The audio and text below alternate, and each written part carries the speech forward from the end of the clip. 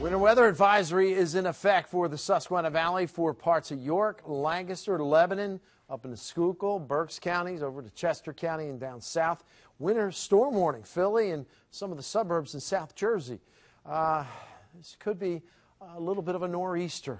It's a, it's a low impact event, but I do think that this is, uh, you know, our first storm of the season where we're going to see some snow accumulating. Well, I'm looking at maybe a coating from 83 eastbound in general. You get in the southeastern parts of York County, southern Lancaster County, especially the higher elevations, and even in parts of Berks and up and toward the Allentown area. I think you're looking at two to four inches of snow, with a little heavier amounts off to the east of us. So today, 30s to around 40 degrees. I think as we get into the midday hours, late morning, early afternoon, we'll see some rain and snow developing. And I think it starts to pick up late in the day. Now, at first, we're going to be in the mid to upper 30s, raw kind of day out there, but that northeast wind picks up and temperatures will start cooling down later on. Precipitation picks up, that cools the atmosphere. I think we'll see accumulations in that one to three inch range. Again, mostly east of the river. West of the river, you're probably not going to get anything.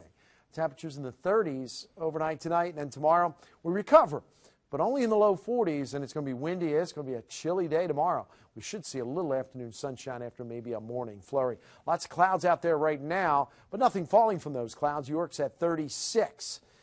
North wind right now. That north northeast wind going to pick up through the day today. Here's another factor in the forecast dew points. Let me show you. First of all, temperatures in the mid 30s. You say, hey, we're in the mid 30s already going to go through the day. Yeah, it's, it's not going to be all that cool. It's going to be marginal in terms of temperatures. But look at the dew points. They not only measure the amount of moisture in the air, but they also tell us where the temperatures might go. So right now it's too dry for any of that precipitation. It's evaporating. These dew points are very low.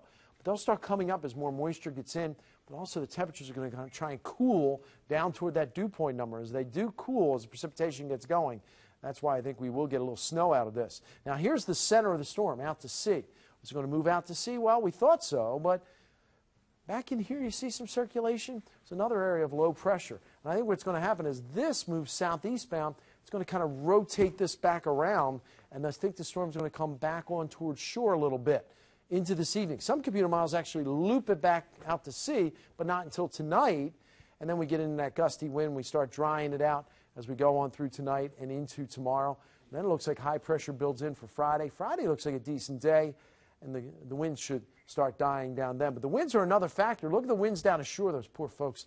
They're going to see sustained winds in that 30 mile an hour range to 40 mile an hour range. We're going to be up around 15, 20 late today, and in that 20 to 25 mile an hour range into tomorrow. So rain and snow coming in today. Again, it's marginal today. It's this evening I think we see some accumulations. Then windy, flurries around as we get into tomorrow morning, but then they're out of here. Uh, tomorrow's a windy, chilly day. Friday looks better, but hey, there goes the weekend. There goes the weekend.